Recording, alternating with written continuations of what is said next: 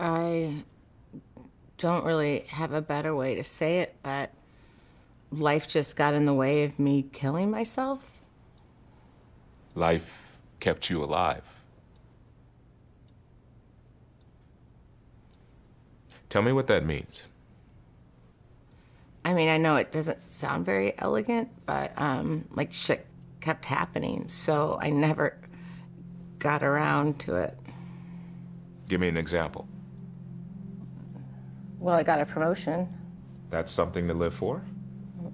Not really. But it does keep me extra busy at work now at my desk, so I don't have as much time to think of different ways to end it.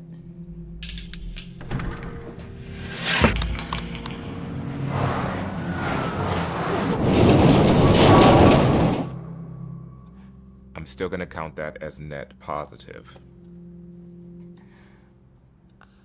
And my best friend Campbell moved in. That's good, right? Well, she moved in because her dog died. How does a dog even suffocate in a bag of fucking rice cakes? There was a whole rotisserie chicken carcass in the garbage that she could have eaten. I mean, she was held back at that K9 high place. You Remember got- that? You got fucked on that.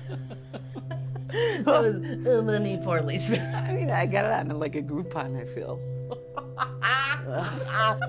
oh, I'm just gonna miss her so much. Can you look at me for a sec? Everything will be okay. We'll get through it. Oh, and a pipe burst, which basically ruined all of my journals, and that is my entire life, and it's history. Wow, that's a lot.